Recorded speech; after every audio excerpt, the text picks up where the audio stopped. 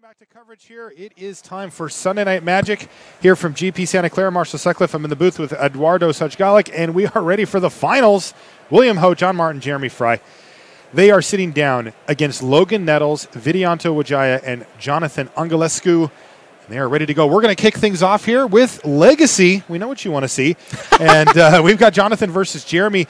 The matchup Grixis Delver on the left hand side of your screen against Jonathan, who is playing Sneak and Show. We just had a brief chat about it, but I want you to recap for us here, Eduardo. What do we expect to see from these two decks?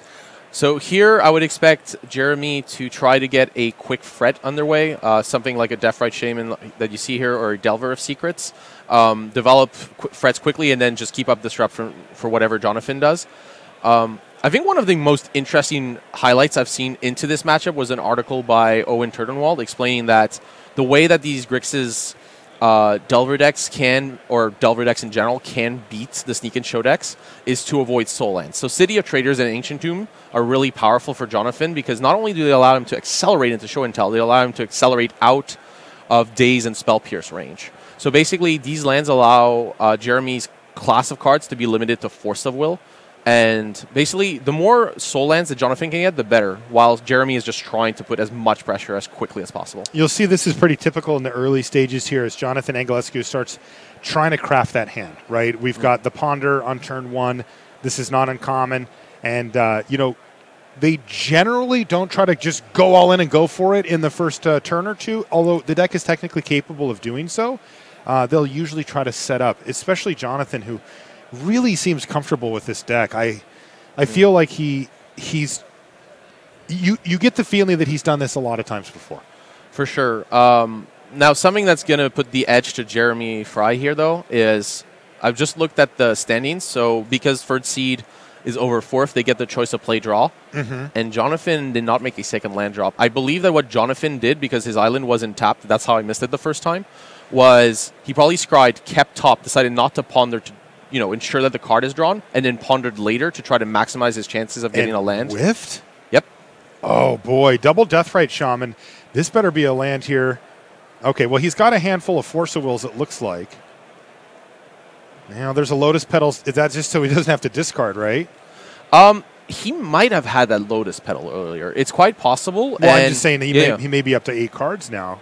For sure. But uh, he may have decided not to play the Lotus Petal because he didn't want to run it into a daze, and this way he's. he's- Okay. That that's why he would have waited a turn on it. Okay. Um, it, it's true that he could have also drawn it. That's totally fair. Uh, but there was no need to jam the Lotus Petal right now. Um, Jeremy Frye only plays one Spell Pierce, and the other counters, Daze and Force of Will, are basically free. So I mean, is is there an upside to playing the, the Lotus Petal earlier anyway? Don't you just normally hold it?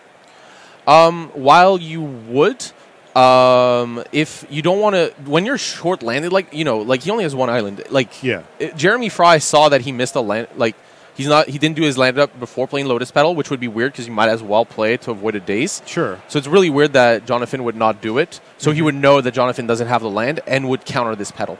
Sure. Well, there we go. True name Nemesis. Clock acquired here for Jeremy Frye. He's also jamming for two damage the good old fashioned way here. Jonathan has some time, but not a lot. It's going to go very quickly from here. Oh, but there's a land. And there's show and tell. Oh, but Force of Will, can he protect it? Um, We, saw- know he has one. Yeah, it depends if he has another blue card, but that would be why Jonathan kept this hand. Uh, the potential for this force of uh, the show and tell with force of will backup. He discards, uh, or excuse me, exiles a Flusterstorm. That resolves. What do they have? Emrakul versus Wasteland. I know which side of the equation I like there. Is it? Does Jeremy have anything that he can do against the impending doom of Emrakul? Jonathan basically made an Emrakul for free mana, and it's going to be good. Oh my god. Oh man, I love it when my opponent gets a land and I get an Emrakul. That sounds great. is good transaction. I'll, I'll And like you said, though, th- this does Yeah. tell the story here, Eduardo, of why he kept the hand. He had all the pieces he needed, maybe even a way to protect it. Just needed that mana source. right, and you can see it here. He had double. He had another force of will. Wow, double force of will backup. That has to make it impossible here for Jeremy Frye to get out of this. Now he does have seven permanents, make it eight. Still not enough though, right? He's at 16 life. Right, and attacking into now 12, the True Name Nemesis isn't quite going to get there. No, I mean we know how powerful that card is, but it does not kill you that quickly. Right, so like the two Deathrite Shamans would put Jonathan to 8, the True Name Nemesis to 5. Technically, Jeremy Frye, if he had two Lightning Bolts, would get there, but. Boom! Annihilator six on the stack. Jeremy's gonna uh, exile some stuff and try to knock Jonathan's life total down, but he's gonna be left with just one permanent. Yeah. Looks like two. Take it. I love that hand motion. The hand motion I'm was great there. That was the come at me, bro hand motion. Well, he does look like he wants to try to draw something specific, but it's not going to do it. Jonathan Anghelescu wins game one of his match. Ooh. Yeah. Miss a land drop on turn two. Emrakul the next turn, no problem. it's all good. All good. All right, now let's take a look at game one here of Vidianto Wijaya versus John Martin. We talked about this one. This is blue white control in modern for Vidianto. On the other side, it's John Martin playing Dredge. We we like some of the sideboard cards, Eduardo, the rest in pieces specifically for Vidianto, but game one, does he have the tools to uh, to keep off the horde of creatures that John can put out? Now, this is modern Dredge here, right? We're talking about prized amalgams, and you see Bloodghast, that kind of thing. It's not overwhelmingly powerful, but it is relentless, Right. and it is hard to uh, to deal with over and over again. Right, but like this game is going to come down more to John Martin's draw than uh, Vidianto's. Vidianto has a few important cards. Detention Sphere is capable of taking care of mu- multiple amalgams, and he can uh, both Cryptic to buy a turn or uh, use Supreme Verdict. So these cards do all buy a turn. Okay. It's just that Vidianto eventually will run out of them. Um, and it just depends if John can put enough pressure to make that Rally the Peasants lethal, uh, which he has in his graveyard. It's a one of, but it allows him to basically give two more power to all of his creatures and um, actually put a threat on uh, Vidianto that some, that some Dredge decks, or actually most right now, if you play online, are just not running right now. So most lists aren't running Rally the Peasants this way to deal this extra damage. Mm-hmm. And there's also the Conflagrate. So Vidianto has to be careful not to go too low on life because then once Vidianto's below 10, the Bloodghasts have haste. Uh, the conflagrates start being a real problem, and there could be a lot of damage coming. The fact that John Martin has two Narcomoebas in hand, though, Pretty nasty. yeah, that it's not just that there's two dead cards in hand; it's also that you can't get them from your deck. There's, it's much less likely. So here we go. Cryptic command. And it looks like that was going to counter a flashback faithless looting. So he's going to keep that train from rolling, but he still does get back the prize amalgam on end step and passes the turn back to Vidi.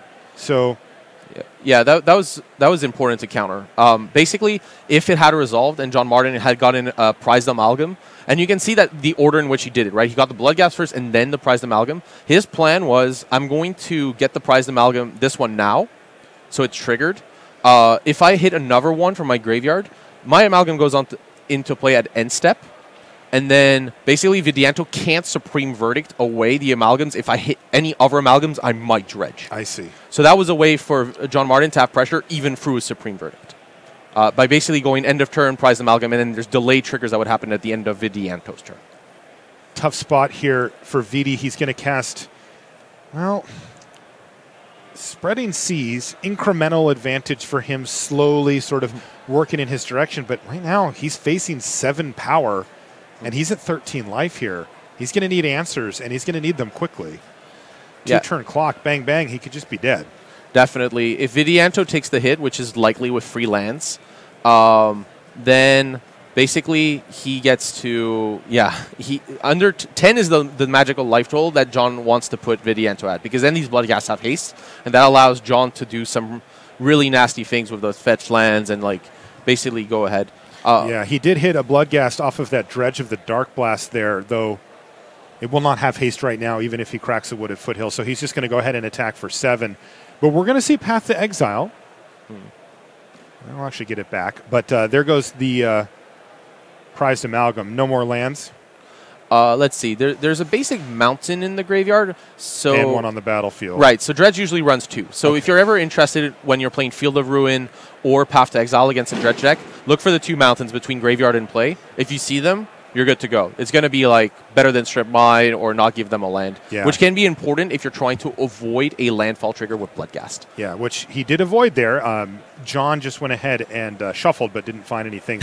and we have hit the stage of the game where Narcomoeba is being hardcast off of Stomping Ground and Mountain thanks to Spreading Seas. We did it. Vidianto kindly fixing John Martin's mana so that he can cast in Unbelievable. Narcomoebas. If he dies to Narcomoeba, how miserable for Vidianto with Shia. Well, you may as well go for it now. yeah. He's going to go ahead and take out the uh, Copperline Gorge with a second copy. Hard gas necro. This is great. oh, that is that is really funny. So, by the way, the, the the reason that Jonathan got the Dark Blast, I mean, he could have gotten the Dakmor Salvage, which would have been one less card, but a landfall trigger. But the best reason to get the Dark Blast here is you can kill your own Bloodghast in in response to a Path to Exile. Oh, sure. Or you mentioned the uh, detention sphere. Yes, that's also well. It doesn't stop Amalgam, but it definitely stops it on, on Bloodghast. So that's really exactly. powerful. Yeah. Smart. So he's actually got a kind of a weird insurance policy lined up for that type of card. Keep his cards from getting exiled. Yeah.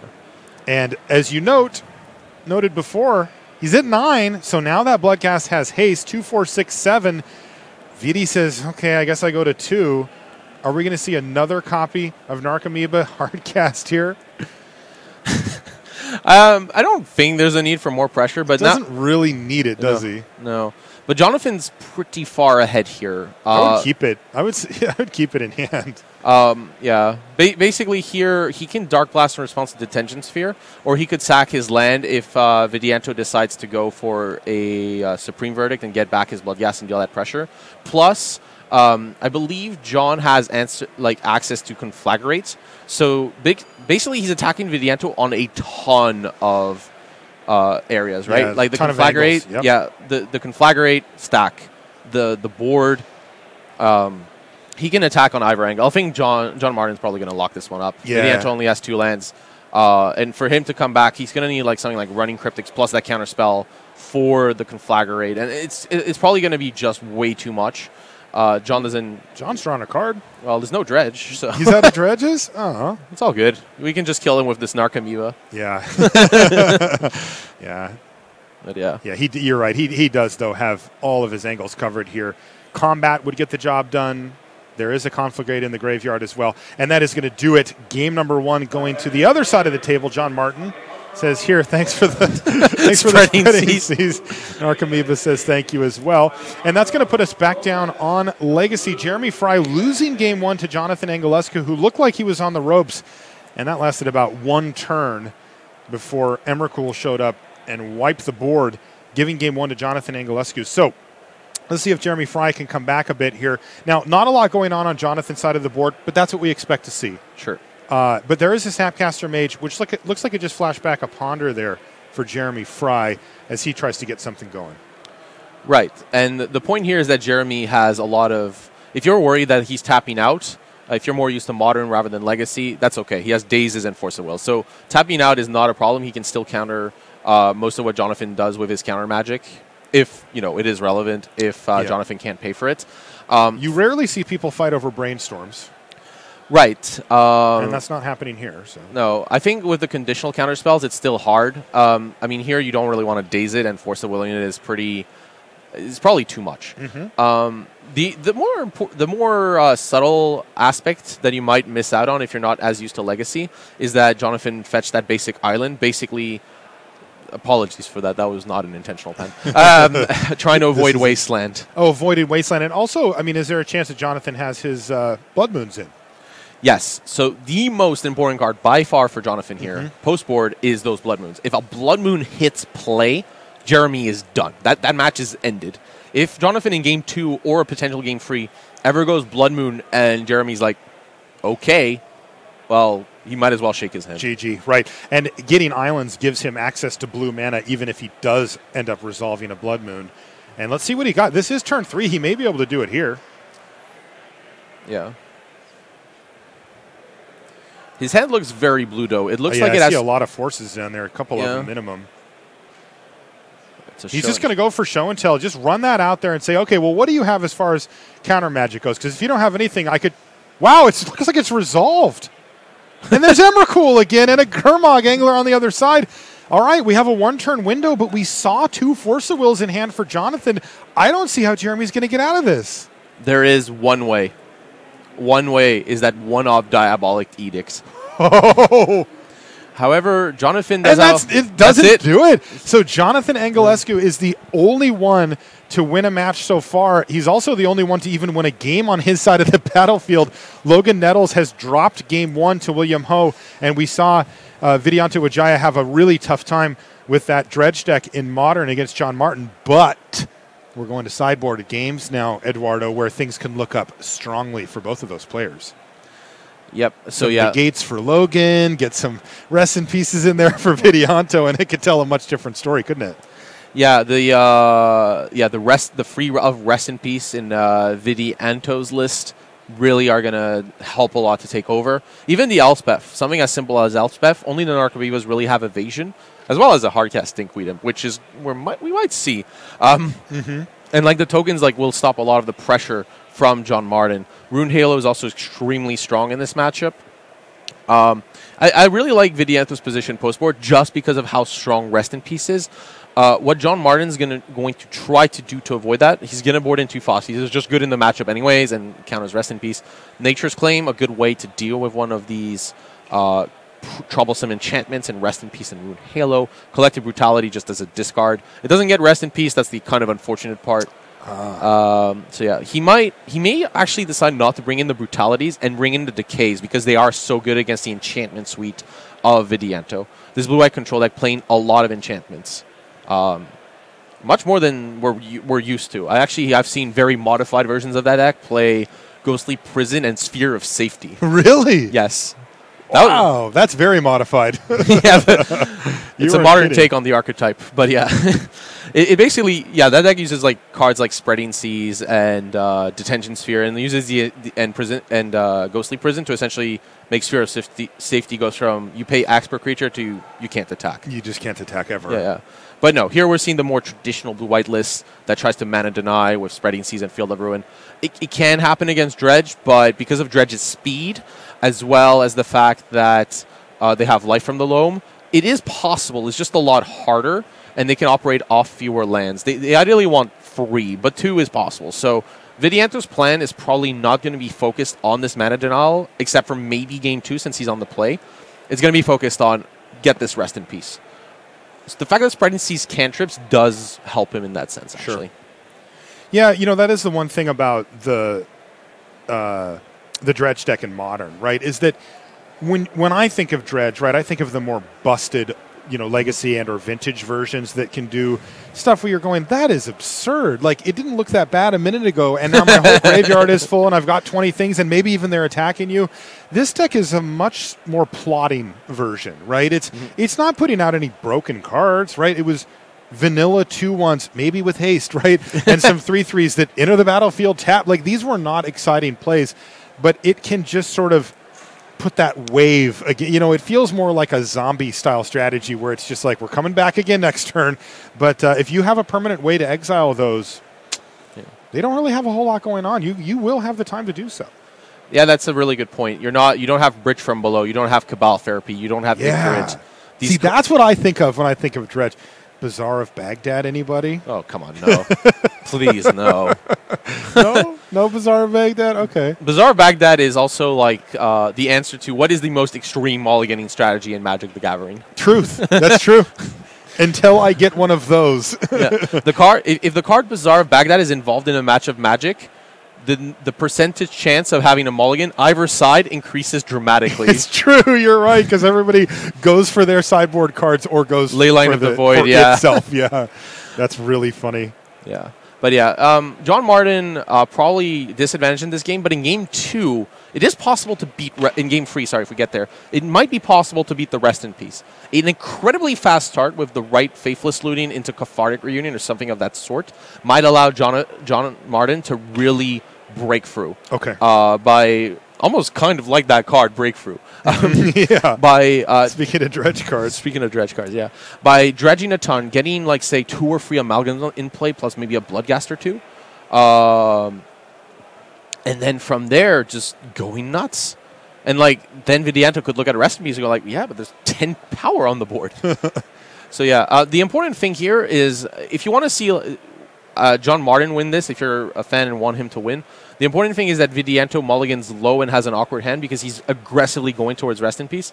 If Vidianto keeps his hand, there's a high chance that he's going to, to win the game since he's at seven. He's most likely going to look for hands that interact very favorably with Dredge.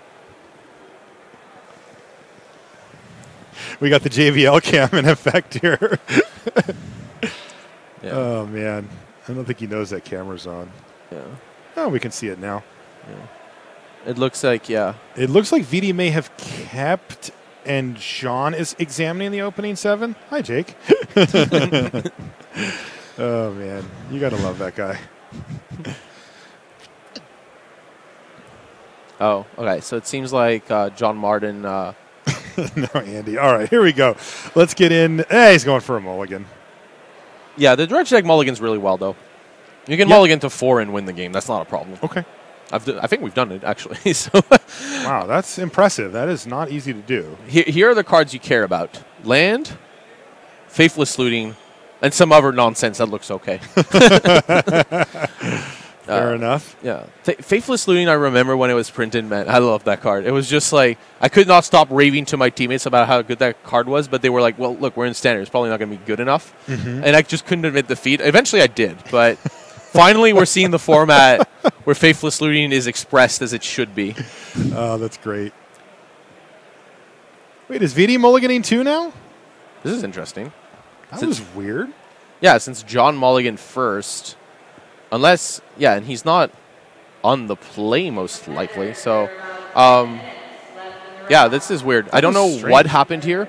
I assume we'll we'll get we could get some update here. I guess we could ask. Yeah, Let me, let me see if I can find any. yeah. It, it, because like for, for those wondering like why why I'm kind of curious what's going on here is Vidianto lost the uh, game one, and usually um, in modern especially you want to be on the play. Deciding to be on a draw is extremely rare action reserved to a very uh, small subsection of matchups. Uh, on average, it is if you say play in modern, you're usually just right Yeah. point blank. So um, it was a bit strange to see John Martin mulligan first or take the the, the physical action of mulliganing, uh, since normally Vidianto being on the play would have to say so first if he decided to. Um,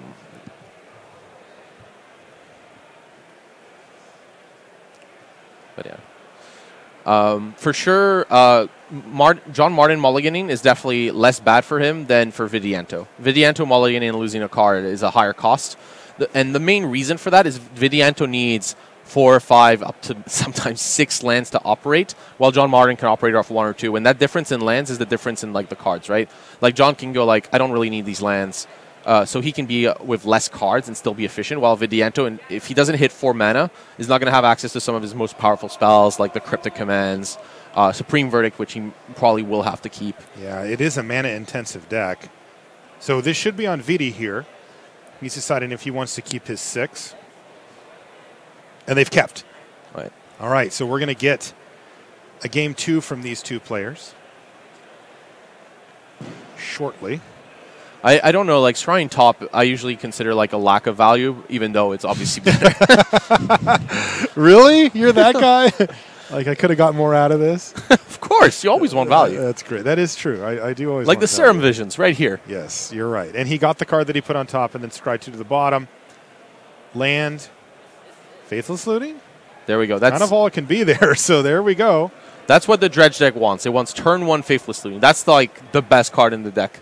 Uh, having uh, you know, I played the, the deck on stream uh, with Mm-hmm. uh, Zen Takahashi, who's like uh, played dredge at like and done very well with it at various online events. Right. And you know, he was uh, we were kind of discussing the deck as we were going, and he was like, you can kind of keep any hand with land faithless looting, mostly. It's that important. yeah, it's that important. It's that powerful, and like a lot of the other hands are mulliganable. Uh, you can be mulligan because it doesn't contain faithless looting. So let's see what he gets rid of. He gets rid of a Bloodghast and a Golgari Thug, it looks like. So he's got a Dredger mm. going, and Yeah. a land can bring back a Bloodghast. So I can see why it's good now. The, I, I love that you said get rid of. yeah. Yeah. In other words, put them exactly where he wants them to be. They, they're, they're both in comeback mode. Exactly. And look at that. He even hit a Narcomoeba off of the Dredge. Yeah. And now there's a Conflagrate in the yard, too, a land and, a, and a Neonate. But still, It yeah. It, it's kind of interesting because John Martin did have that amalgam in hand, so it's interesting that he decided not to go say discard amalgam bloodghast, and rather wanted that dredger in the graveyard right now. Mm-hmm. So the, the what Martin did have uh, this decision to go. Well, I just want I, I I can either just dredge, or I can just focus on getting five power on the board. And he decided like, okay, I want to dredge. okay, well, he's going to get three power Yeah. thanks to hitting the Narcomoeba. for sure. But yeah, even though he got a Narcomoeba, this wasn't like what uh, John Martin was looking for. He was really looking for another treasure. That was the key. So now. Vidianto, right? But Vidianto knows this. This it's relatively clear. So he's gonna hard try to stop this facial swing, but like missing that land drop. Wow, no white swords is missing the land drop. Super brutal here for Vidianto. I wonder if he has the. Uh, I wonder if he has his key sideboard cards in hand, but just doesn't have the mana to cast them. You know, or Rest in I, I saw a glimpse like of those uh, rest in peace towers. Okay, And I think that if you keep I like if you keep Serum Visions, Blue Source, Rest in Peace, that's a totally, totally fair keep at six. uh huh. But you can see the power, right, of the of of like how these decks work, like Dredge. Basically, they rely on their opponents going, well, I need this hate piece. So again, as, I- as I was saying earlier, right, the, the opponent, the opposing hands are going to be worse as a result, because you need to like look for these rest in peace, etc. But like your hand may just not be good. He's just going to discard his hand to conflagrate here. Yeah. So basically, No, that's the one way to get a dredger in the yard. Yeah, that's an excellent way to get a dredger in the yard. He goes for Conflagrate, uh, discarding four. The discard is actually part of the cost of the card. Okay, So in this instance, even if Vidianto decides to counter the Conflagrate for four, which he may decide to do, um, well, the Yeah. damage is done, huh? the discard happened, right? Yeah, not, not the literal damage, but the right. Um, there's that uh, prize amalgam. I don't, I can't see quite the other card, but it looks like also a Bloodghast. So most likely, John Martin kept it is. a land and deals four here. Play might decide. Yes, this is interesting. I think that here John Martin should play a fetch land, um, and look to get a Bloodghast. So so John Martin can decide. I want to play around rest in peace and get his cards back because Vidianto doesn't have white for supreme verdict. Right, he needs double white for it. Right. So getting back the Bloodghast and the prize amalgam seems pretty strong here. Yeah. So so th- and this would be the standard play, right? Right. But like the other option, if Vidianto didn't have rest in peace and had white mana, would have been to go. Uh, second main phase, Bloodghast, and then rest in peace. Plains off the top, by the way. Yeah, it, it might be too, Is it little too late? Yeah, I was going to say, are we in business here? Like, could he go, uh, like, Plains, rest in peace, Plains off the top, wipe your board? Yes, that is That's what, what, he- we're looking at here. that's what we're looking at. Um, Okay. There are some uh, other ways to get there. Uh, definitely, the rest in peace coming down is super important. Uh, let's see. This is seven, eight damage, and Vidianto's at fourteen. So it might be that Vidianto has to deal with the board first. That is not a good position to be in, though. Um, it really depends on the texture of his hand. If Vidianto has a removal spell for that prize amalgam, this might be the time to fire it off.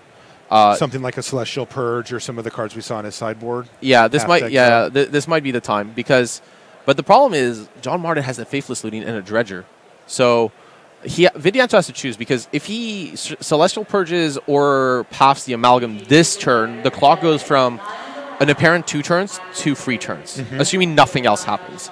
Um, and later he can't do that because John Martin will deal eight, Vidianto goes to five, and basically you could remove the amalgam. That's still five damage. Yep. So Vidianto has to choose. Okay, what? Basically, he has to calculate his odds. He has to calculate what are my odds of, depending what's in his hand, what are my odds of drawing a land uh, or the relevant card. So here he decides to go for the rest in peace, shut down any additional pressure uh, from John Martin. And just pray to rip a white mana source? If he has supreme verdict, Right. I mean, He has to have a plan of some sort. It probably involves drawing a land next turn, like it could be Cryptic Command. Yeah. I, I saw a lot of blue cards and a path to exile. So the other side of the plan could be to play Snapcaster Path, not flashing it back, just going path your amalgam, uh, Block. block. your Bloodghast, go to two, and then hopefully draw something. Because once John Martin's board is gone, that gives him a shot to come back. that gives a Vidianto a huge great draw shot. step for Vidianto Wijaya. Probably needs to find some white mana here. He needs to deal with the board now. He has the rest in peace. He shut down the graveyard options, but he needs to kill these creatures. And at only five, he can take out both Bloodghast and go to one. Yeah, Th- this seems, Oh, yeah, boy. it's tough. but this seems like a good line, um, depending on what else is in Vidianto's hand. Um, I mean, being at five life, this, this, his hand is kind of forced. He has to get rid of these Bloodghast. Uh, he's going to be at one now. Yeah, Cryptic Command will also be super powerful here, uh, since none of the cards are recastable. So he can go tap, bounce the amalgam, and that kind of works. Yeah, the, the problem, of course, now is that he's going to take four damage, go to one, and a lot of his land drops are shut off at that point. You know, his fetch lands are dead. Well, thankfully, this is why uh, Vidianto's playing blue white. You don't take too much damage from a lands. There's only four Yeah. flooded strands. Okay, so that doesn't. So those are not outs, but that's actually not as bad as it could be. Right. The the main issue though is blue white blue. There's no dual lands, so Cryptic Command needs exactly an island or, Or a Mystic Glacial Gate. Fortress, yeah, or Mystic Gate. Hallowed Fountain uh, comes into play tapped. Oh, Rune Halo, the Rune uncastable. Halo, he can't cast it. I, I have seen Path to Exile. He needs something But on top. Narcomoeba has flying, so uh, that that line that you mentioned, by the way, could work. Snapcaster Mage, Chump Block, Path to Exile, your Narcomoeba. You do what you have to do. exactly what I was thinking. And then Cold Rip into another path or uh, a Celestial Purge or something along those lines. All right, Path to Exile. But what does he have for double blue that can kill the lethal Narcomoeba? Um, I, I can't think of a card off the top of my head. Is he just going through the motions here? It, it looks like it. I don't think there's a single card in his deck. Yeah, yes, that's he it. was just going through the motions. So John Martin evens things up for his team. uh, the Cryptic. Oh, so frustrating for Vidianto Wijaya. Missed that one land drop and a good draw from John Martin. Uh, getting off to a quick start on turn one with Faithless Looting leads him to victory. And that means the deciders in standard. We've got William Ho. Logan Nettles is on zero game win so far. William Ho is on one. And he's got Chandra Torch of Defiance, which is apparently targeting whatever that Vizier of Many Faces is. And now he has Chandra on an empty board. Yeah, and uh, they both have they they both had a card. So now this is really well. This is what it happens in these grind fests. Sometimes it comes to the top of the deck, but the Chandra, as you say, in play is very important.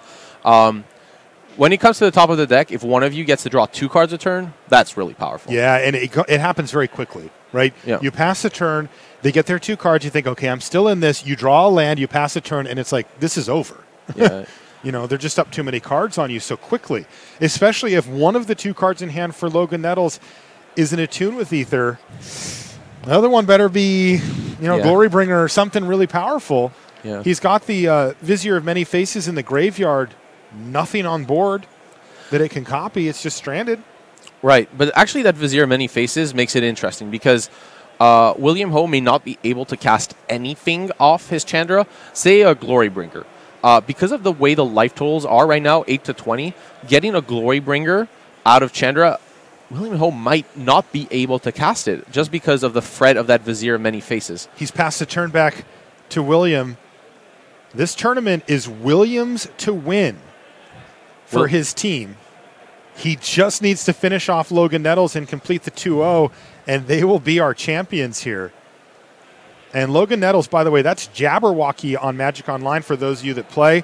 And he is a very well known and very well respected player, uh, especially on Magic Online. He's going to be playing in the Magic Online Championship. Like, this guy's a big deal I wish and I a could- very yeah. good player. I wish I could qualify that tournament one Oh, day. it's such a sick tournament, too. It's insane. But yeah, here you can kind of see like the Chandra. The Chandra got into another two for one, the Rogue Refiner. Yep. The Servant of the Conduit doesn't look impressive, but that two energy makes the Aether hubs work. It means that any, uh, let's say, Virtuoso that gets top decked or Hydra can protect itself. uh, or can make more Thopters. And this is yeah. Oh my god. Oh, another one of these Attune with Aethers for poor Logan Nettles. That is not what he wants to see here. Now he does now have a target though, right? Right. For his uh, Vizier, Right. he could he could make a Rogue Refiner and see if what he hits. Yeah, but this is kind of sem- the the thing is right. Logan is under the pressure enough pressure that he has to kind of do this. Yeah. Uh, unless he drew another card that he can cast this turn, uh, simply because if he declines to get anything, William Ho's like, okay, I'll just attack for five and then two you with this Chandra, and then you take seven a turn and you're done. So Logan Nettles is just forced to kind of get this Vizier. You want a more interesting target, but you just can't because William Ho has more than enough pressure on the board as stands. Ooh, he drew the card that I think they said was his best card of the weekend, which was Commit to Memory, I believe. Oh, that'd be oh, commit memory here would be incredible. I think that's what he drew. He he would get to get rid of the Chandra. He's at tons of life, so he can still take this hit. and We might have a game here. i- i- and he also has more mana. So uh, I, I really hope that's commit memory. I really, I want to see. Hmm. Yeah. I I, I want to see that time reversal or you know time twister. It's closer to time reversal because time reversal is the same card but costs more mana. Hey, we've seen it on camera. It is insane. Wow, look at that Rogue Refiner though for William Ho. He is pulling far ahead of Logan Nettles, even if it is a commit to memory. Yeah. The the look main the board. Yeah, the, the main issue is for Logan here is like he's falling way too far behind on the board, Right. and the commit memory, even with that much mana, um, you know your opponent still gets first crack, right? They get to cast their spells first, so usually that's why you don't see memory cast much, even though players have the option. They only do it when they're kind of in desperate mode. However, if you drew commit memory, this this is getting to desperate mode. Um, the main issue though is that Logan can't cast commit and memory in the same turn without drawing like say another land. Uh, so yeah, it's. I mean, he can commit and then he can memory, but the the speed plus the pressure that William Ho is putting between that Chandra and the Rogue Refiners and the Servant is it's going to be hard for Logan to come back. Um, I'm trying to see like a Rivers Rebuke or something like that might give him the time he needs. Okay, he's gonna. Uh, he's being attacked now by Rogue Refiner. William Ho's gonna send it in. Yeah. He's got an abundance of resources and feels like Chandra's pretty well protected, so may as well start getting at that life total. Yeah, indeed. But like you can see, like that uh, William Hope doesn't want his Chandra to, to get off. That's why he decided not to attack with a servant of conduit here. That's right. Um, you know, you can deal. You, William Ho has more than enough pressure to finish this game. He doesn't. He he doesn't need to do much. He needs Logan to. Logan needs to do something here. Um, William Ho is a little weak now to a top deck Glory Bringer though, uh, and yeah, Lo- Logan decides to trade because um, you might as well prevent the damage here. Um, it's not like your Rogue Refiner is going to get much more value, so you might as well trade here. Uh, it- by the way, there was a misstep there from William Ho. I, I think he had actually played an additional land this turn, though it looks like he's picked it up. There was a Let's see. swamp that he had played. Oh yeah, so yeah, he had access to six man, I believe six lands last turn. So yeah, So, yeah. Yeah, okay, so So I guess he just picked it up. But okay. Anyway, back to Logan Nettles. Let's see if that was commit to memory, and let's see what he can do to try to find his way out of this mess. Because if he can't, William Ho's going to win his match and the round, and in fact the entire tournament. We'll go to William Ho, John Martin, and Jeremy Frye. In, a, in a really an incredible performance. I mean, this is a field full of great teams yeah, great and formats three too. relative unknowns, right? At least compared to some of the players that we've had in the feature match area over the course of the weekend. Taking this thing down is a super impressive feat. Yeah. This is uh yeah. Uh let's yeah, like and I mean most people may not know uh, Logan Nettles, Vidianto, uh, Wijaya, and Jonathan Anghelescu, but I can. It, it's not because we you don't know them that they're not insane. yeah, and and if you watch a lot of GPs, you will know these. I mean, you know, these guys do pop up. I mean, Logan doesn't travel a ton.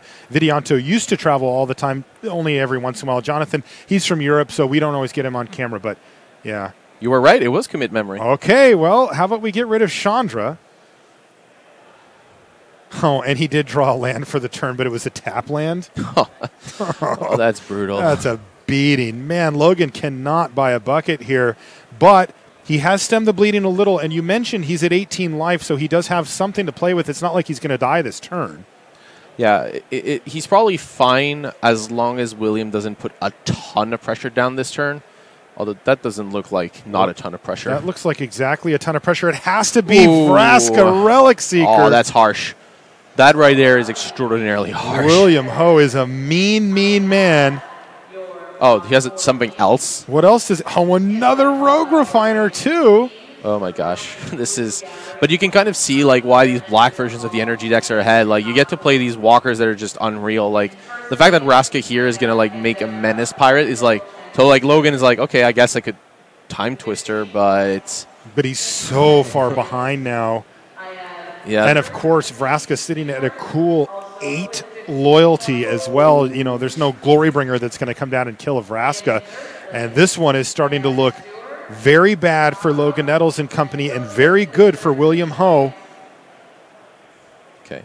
Um, let's construct a world where Logan wins this game. Since uh, I think William Ho, how he can win this game. Well, just keep playing with let, the cards just, he has on let's just have the cards we have. That's all good. Yeah, okay. Logan uh, is probably going to have to. He has two lands, so his only action is to memory really this turn. He's just considering which land to play, which lands to keep untapped. Um, but here, oh boy. the card he really wants is going to be River's Rebuke. Yes. Because that's the only card that will allow him to catch up the nonsense board that William Ho will have in play. Without Especially given that William's going to have drawn a fresh seven with a ton of mana available and a big board as well, right? Yeah. Um, now William won't ha- like probably won't have boarded in the negates. Uh, he might board in one or two. Um, obviously, if William boards in a negate and draws it, like it's basically over because the board is so is pretty much unreal in uh, his favor. Uh, yeah. So you can kind of see like the difference here is like well the desperation. Uh, so yeah, Logan, I believe, played his land for the turn, and uh, yeah, now he's working with five lands. He can't really uh, play another one that he would draw. So what? So at five mana, what he the hand he's hoping to draw is going to be a bunch of removal spells, River's Rebuke, and then on top of that, things like Virtuoso, Rogue Refiner that allow him to kind of stabilize, have board initiative, and then go on top after Okay. that. Now, does this also mandate that William Ho draws kind of not a lot of things like five lands? yeah, you know that you know uh, whatever a, a servant of the conduit like that kind of like he has to draw poorly as well Yeah, in yeah. order for this perfect scenario that we're trying to to, to craft for come together. It is a tall order to say the least. yeah. William would have to draw like a horrible 7 like, um, like just a bunch of lands, attunes, nothing, nothing much. Like, um, but post board, both decks have a lot, and William has access to some incredibly powerful cards like Scarab God. Uh, you know, another Chandra. The Chandra could come back. And look at this, Williams like great. I get seven cards. He only had one card left in his hand and a ton of mana. So let's see if Logan can even begin to start chipping away at this huge deficit that he finds himself in. Because if he can't, we've got our champs. Yeah, for sure. I like how, by the way, William Ho showed his hand to his teammates. I, I know you're excited and everything when you're like in these situations, but sometimes it's best not not to do it too quickly so that your teammate doesn't give away what's in your hand. Yeah, what if his teammate was like, "Oh yes"? I guess that wouldn't matter in this spot, would it? I think you could do that, but just to intimidate your opponent. depending- Sure, not sure. not Logan, but yeah. yeah, Logan's a chill guy. He would not be. Uh, he would not be intimidated, but I like it. Yeah. Um, yeah, one card that could have helped, Lo- like, if you're looking to, you know, build your standard decks, one card that could be interesting in the sideboard of these energy decks is Hour of Devastation for spots like this. Okay, now you mentioned that this was part of the puzzle cards like Whirler Virtuoso to help him stabilize. Unfortunately, in a Tune with Thief, there's another one, and that's not going to get him even another Thopter worth of energy, at least not yet. But he'll have 14, and he will be able to not die next turn. I Yep. guess you, you live with that. Yeah, yeah. The, the the Whirler Virtuoso is like pretty much the card you needed. Like I don't, Hmm. I can't really construct a world where Logan wins this game where Virtuoso wasn't hitting play at okay, some point. so one of many check boxes Yeah. has been checked. One of the most important aspects of this Virtuoso, William Ho's at eight, Sure, and four Thopters, sure. they can get there because Logan can take one more hit. With everything. Yes. Three, six, seven, eight, nine, ten. Go to five. Right. Um, Oh, he can't man. take more. So now the question for William is like, how can I lock this game away? Yeah. Looks he- like he's going to keep just keeping his board going with a pirate here. Yeah, his line might be if he had a ha, has drawn a haste creature or a scarab god, his line might be to ultimate Vraska to put Logan Nettles to one.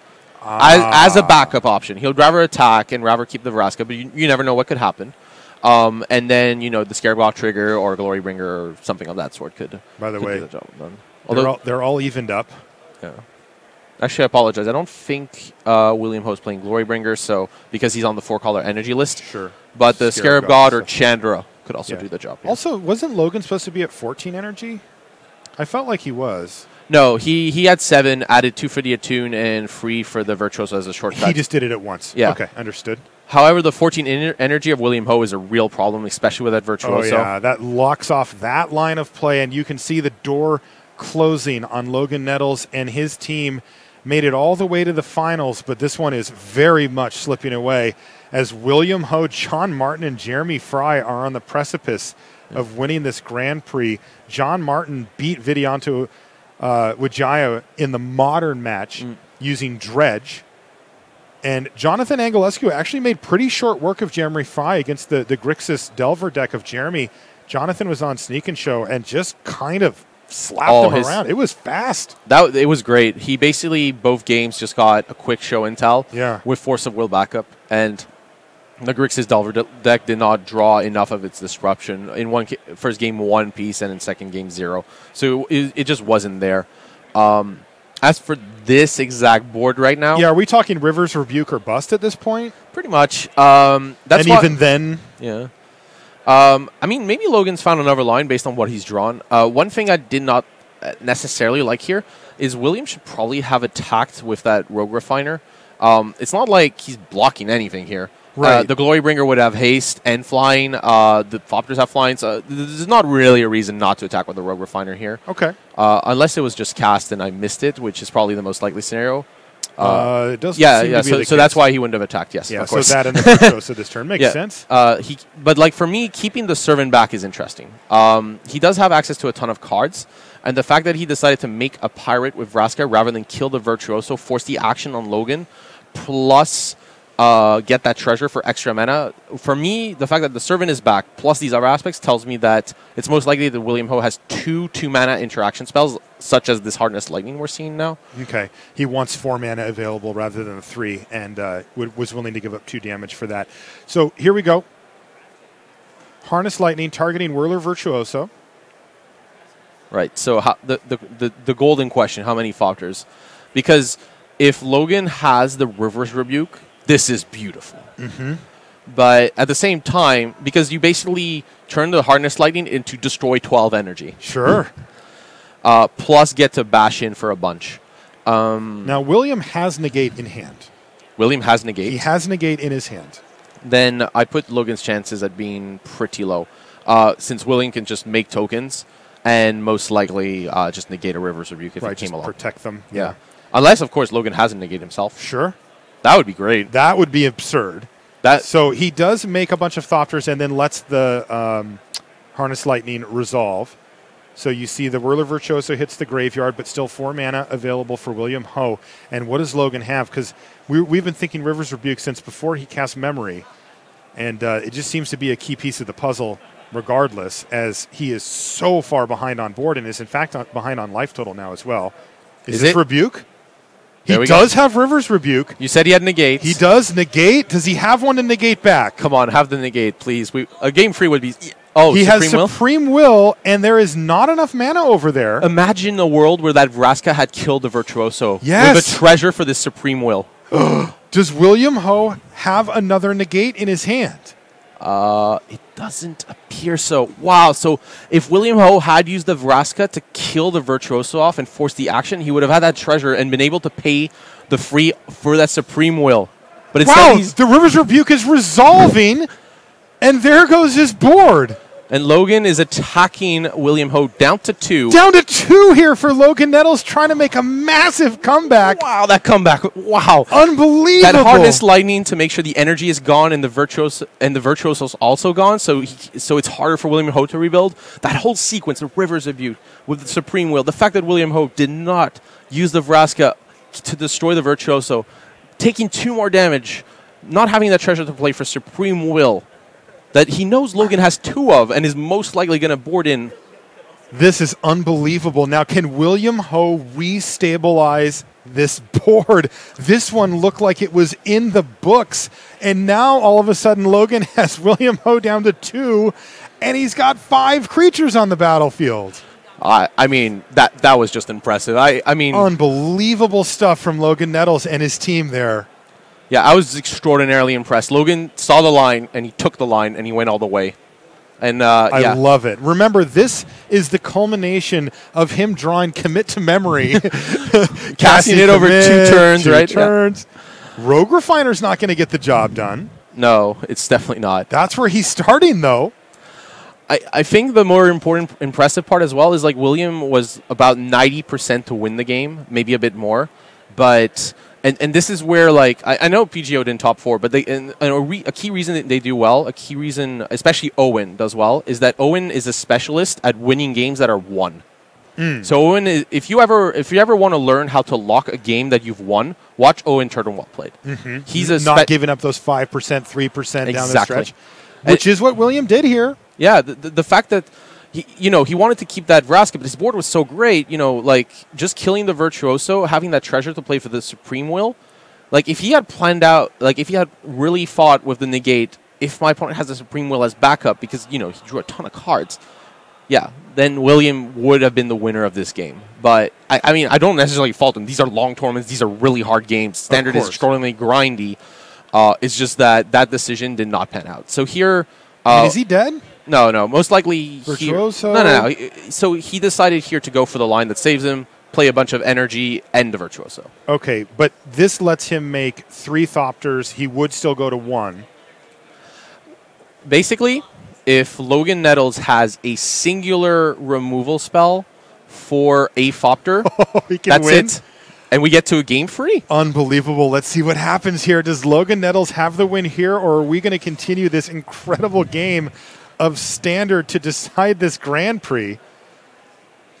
Oh, he's going to cycle. he's going to cycle.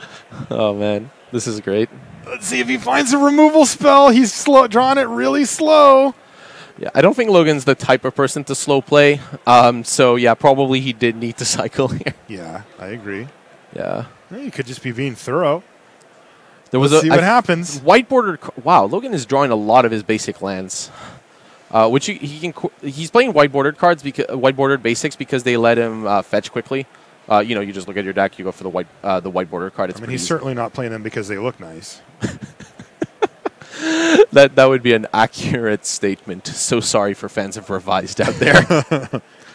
uh, but yeah, But I mean, it's it would be natural that he's basically out of gas here anyway, right? Because he drew seven, but you know, probably three, you know, two to four of those Mm-hmm. were lands. He had exactly what he needed. You know, it wouldn't be shocking to see that he's, uh, you know, a little bit out of gas. right. He's also at seven and has to remember his own life total here. This game just does not stop. Yeah, but unfortunately for Logan here, more than anything else, uh, he. I'm just double checking. I don't think there's a method for him to deal uh, direct damage. I don't see a Chandra Torch of Defiance in the list. That's the card that comes to mind, isn't it? Yeah, and Glorybringer will easily be blocked by a Thopter down the line, and uh, this is. And the problem here is that Logan could attack, trade free Thopters, as you say, put William Ho down to one, but then he untaps, plays a bunch of energy cards. That that Virtuoso is going to make more Thopters. So Yeah, right. And on top of it, uh, you know, William Ho also has lethal lined up here. Like he's got seven power on the ground. If he could get rid of the virtuoso, you know, assuming Logan didn't find another uh, one energy here, he could just kill him. uh, pretty much, yeah. I, I'm pretty sure if William Ho uh, just untaps, he wins. He's going to get to win if he untaps. Yeah. Remember, his hand is stacked. He went to discard. He discarded uh, Vraska, right? Like he's got a lot going on. He had a, a rather large and well built out board returned to his hand, and uh, over the course of two turns, he will be redeploying it. But the question right now is can Logan Nettles finish him off and complete one of the best comebacks I've ever seen in Yeah. the booth, uh, from the booth here? Yeah, I. Well, what Is we need to slipping away? Yeah, it is. But whatever we need, what we need to remember though, is that Logan saw the line. He didn't get there. That doesn't mean that it it was cor- clearly correct. And you shouldn't. You know, if you're playing these games and you find you need to find those lines, and maybe you won't win. It's okay. These things can happen. Mm-hmm. But it seems like he has one spell left in hand. I do not know what that spell is. High chance we're gonna find out soon, though. He's forcing the trades here.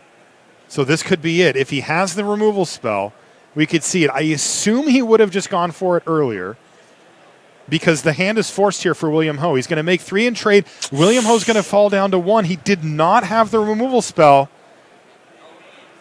And he just passes the turn back, and this is great news for William Ho, John Martin, and Jeremy Frye. They have to breathe a huge sigh of relief just for the fact that they get another turn here at all. Yeah, and and getting that turn is very close to getting the game. Actually, just because Which would give them the match and the round. at the tournament, the trophy, five thousand bucks each, etc. that was an expensive untap step. It really was.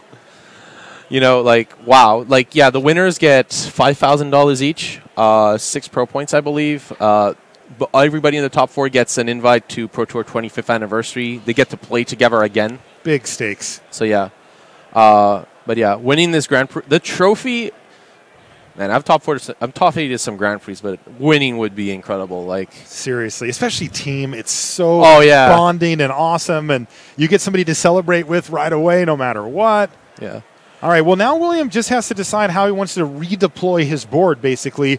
And this is kind of what you were talking about. He has returned to a dominant position in this game, and now he needs to make sure that he plays very tight, Yeah. doesn't leave those little openings for oh, I guess I don't actually can't actually pay for that supreme will. That kind of thing can't Yeah. happen again.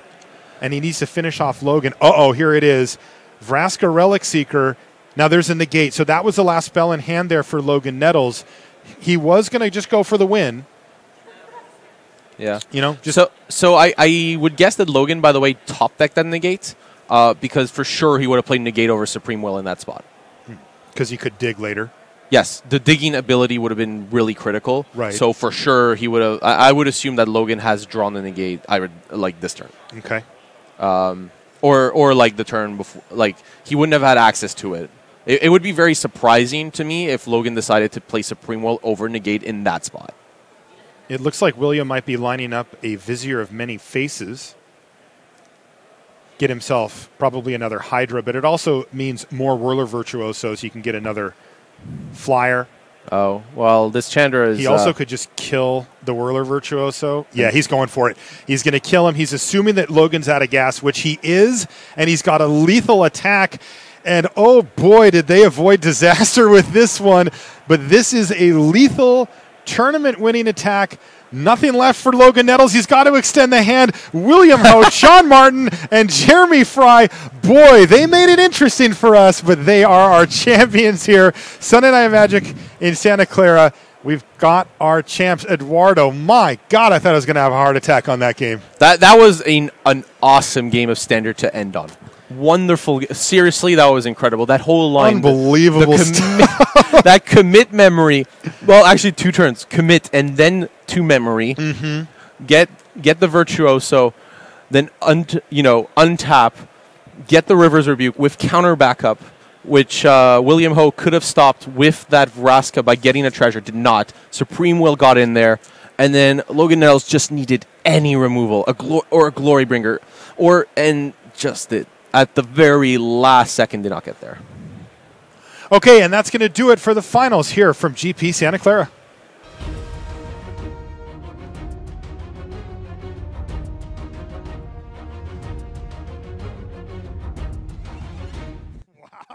Incredible stuff from the feature match area. I tell you what, when you have teams like this, you give yourself triple the chance to have a great match. And we had some really fun ones. We got to see Legacy kind of do its thing. You know, uh, here's some Emrakuls, that kind of stuff, which was really sweet. We ended off with something we're a little bit more familiar with, though, and that was Standard and an incredible match to wind things down. Uh, we're going to be getting a winner interview here. I don't actually know who we're going to interview. We're going to get one of the one of the winners. Uh, one? I, they're a team. Do- Yeah, do you s- we, we only get one because we only have one microphone. so what I'm going to do is I'm going to kick you out, Eduardo. I'm going to mute you here. Thanks so much, Eduardo. Great job this weekend, and let's bring in our winner.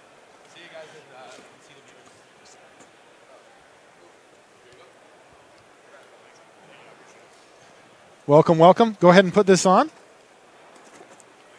And then I will unmute you. Hi, who are you? Hey, I'm uh, John Martin. You're John Martin. John, congratulations. Let's get this trophy. Oh, you got it already in the yeah, shot. Yeah, yeah, yeah. Oh my as god! fast as I could. I almost had a heart attack on that last game. You must have just been sitting You out of no your idea. chair. What, Um, walk us through that last stretch against like, Logan there. uh, Jeremy and Will carried me the whole tournament. Mm-hmm. So like I kind of let them just like do their whole thing in that match. But I was like sitting there and I was like like like he river re- he gets the rivers rebuke. I'm just Uh-huh. I'm like oh okay. I was like okay well we got game three like we can be on the play that's good for us.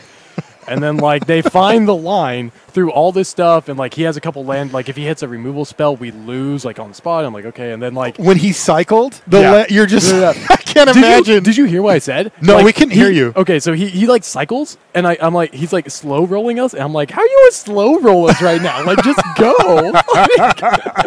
what did he say? uh, he, he chuckled, and he was like, well, I still got to think if I don't hit it. I'm like, Yeah, fair okay, enough. Fair fair, enough. yeah. He's very methodical. Player. Yeah, he is. The funny part was is that he goes tap two lands, and we're like harness lightning, and then he's like cycle this way. I was like, okay, well, it's a redraw. All right, let's play it out.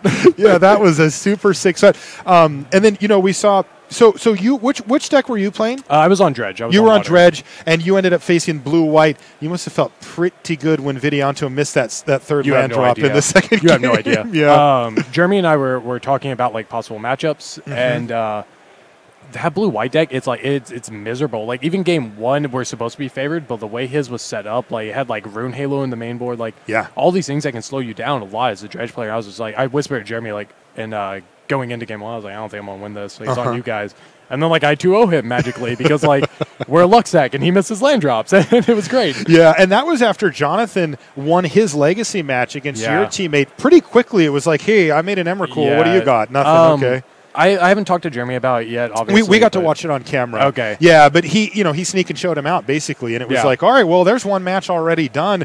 But then you fought back, and then when we came in, we got to ride the roller coaster. Congratulations! Yeah, and boy, how cool is this that you guys get to go play at the Pro Tour together too? Uh, yeah, this is insane. Like uh, Jeremy, Jeremy's been to a pro tour once before, mm-hmm. and uh, but I've, I've never been. Neither as Will. So the fact that like we like get to go all three of us together, and like we were making jokes about like this weekend, like oh, flying from Texas to Santa Clara, let's go win a Grand Prix, and then like this. and now you have Yeah, like, this, this is sitting in front of you. How crazy is that? So, so where'd you say you're from? San Antonio. Uh, we're from Austin, Texas. You're from Austin. Gotcha. Yeah. Great. And uh, are you guys just all friends? You play at the local shop together? Um, What's your yeah, story? Jeremy and I, we like met at uh, A and M, and like we just started playing At a Magic. what? the- uh, Texas A and M. It's a Oh, university. Texas A&M. Yeah, yeah, yeah. Sorry, I know that Forget one. we're not in Texas. um, but yeah, so we, we met in college, and uh, we just started playing Magic together, and then I moved to Austin, and a couple months later he moved, and uh, we just like met Will through grinding events and everything, and he was like, team. yeah, well, he was like, hey, we have like this free place to stay in Santa Clara. I want teammates. I was like, ah, sure. So it was like months of events, and then like it finally gets there, and we're like, oh, well, this was a very good decision for us. Well, congratulations. Awesome, a thank you. fantastic win, and it was really fun to watch. Just hang out with me for one minute Yep. because it is time for us to say goodbye. Thank you so much for joining us for Sunday Night Magic here from Santa Clara. We had a very good time bringing you Legacy, Modern, and Standard. And we wanted to say thank you so much for Channel Fireball Events for putting on this whole thing, for all the judges and staff that help make these possible. Anybody who's been to one of these knows how important they are to making these events go. They everything stops if they do. seriously. And it's so nice to have them along. And of course, we wanted to thank you for joining us. We wouldn't do it if it wasn't for you. So thank you so much for tuning in. And uh, we'll see you next time. So for J- Jacob Van Lunen, for Maria Bartholdi, for Eduardo Sajgalik, I'm Marshall Sutcliffe saying we'll see you next time. Bye bye. Hi, mom.